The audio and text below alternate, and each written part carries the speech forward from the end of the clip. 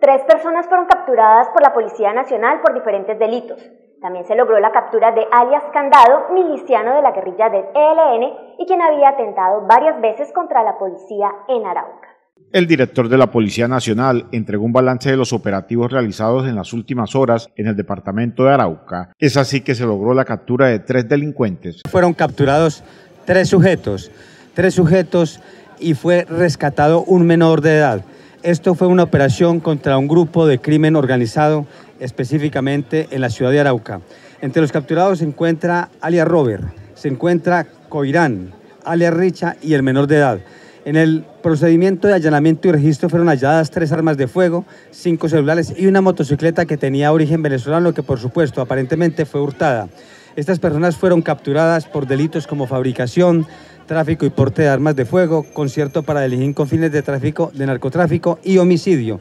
Importante destacar aquí que la estructura estaría encargada de materializar homicidios para el control territorial del expendio de estupefacientes. El alto oficial dio a conocer que alias Robert era el encargado de coordinar los homicidios en el municipio capital. Es así como era alias Robert conocido como el encargado de la coordinación de los homicidios en este sector y del control de los expendios de sustancias psicoactivas, específicamente en tres lugares, en Miramar, en San Luis y en Santa Fe.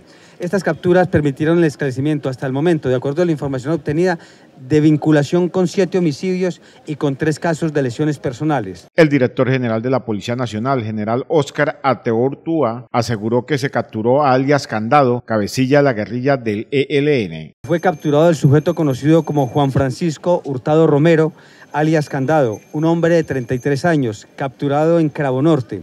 Esta persona es requerida por el delito de rebelión en el municipio de Cravo Norte, al norte del departamento de Arauca, pero vinculado directamente con la organización criminal ELN.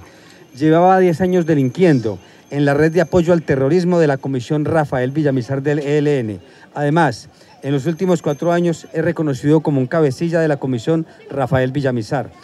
¿Era encargado de qué? Específicamente del cobro de extorsiones a los gremios productivos de la localidad de Arauca, de Puerto Rondón y de Cabo Norte. También dio a conocer los ataques que alias Candado cometió contra la fuerza pública en el departamento de Arauca. Se pudo determinar que él participó y coordinó acciones ofensivas contra la fuerza pública mediante el lanzamiento de artefactos explosivos, específicamente contra el CAI primero de mayo, perdón, primero de enero, y esto fue realizado en el año 2019. Con esta captura, indudablemente, se afecta la red de apoyo al terrorismo y se puede demostrar el vínculo terrorista en contra de nuestra fuerza pública. La Policía Nacional seguirá con la labor de inteligencia para poder identificar a los milicianos de la guerrilla del ELN y las disidencias de la FARC.